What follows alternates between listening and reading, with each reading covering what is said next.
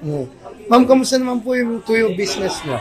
Actually, oh, nakikita niyo yung hairline ko, medyo umurong dahil yan doon. ano naman siya, okay naman siya. Ah, Mm. Doing well.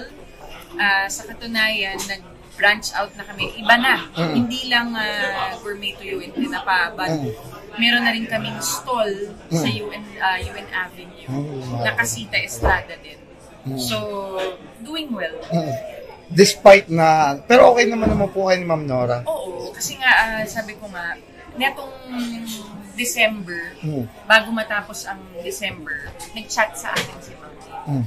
So, nagsabi siya na sana para ah, kalimutan na natin kung ano man hindi natin pagkakaintindihan. Sinong tatanggi sa nanay?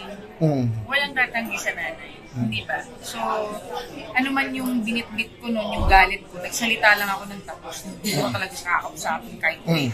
Kaya lang, siyempre lalambot ang puso. Mm. Nanay mo yun. Mm. Inaayos yung, ah, yung problema. Hindi. Buti naman po at all is well na po. Eh, palaki naman niya ako na maayos eh. Mm. So, di ba? Ganun.